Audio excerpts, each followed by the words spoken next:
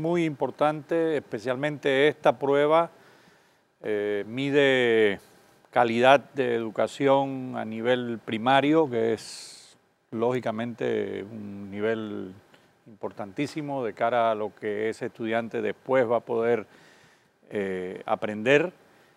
Eh, es una prueba de un organismo independiente.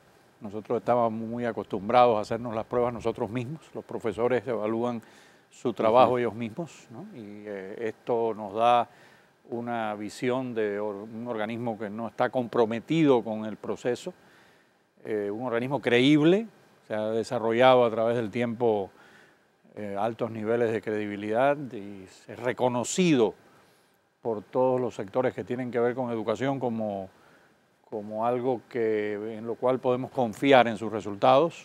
está preparado por expertos, gente que sabe del tema, que tiene experiencia, que le ha dado seguimiento al tema por muchos años, eh, nos permite relacionar variables, o sea, es realmente un magnífico instrumento para la educación que nosotros debemos eh, hacer, continuar haciendo y, analizar, sacar conclusiones y, producir los cambios que, requiere el sistema educativo para ser mejor. ECO te invita a revivir este contenido entrando al canal 1 de VOD de Cableonda.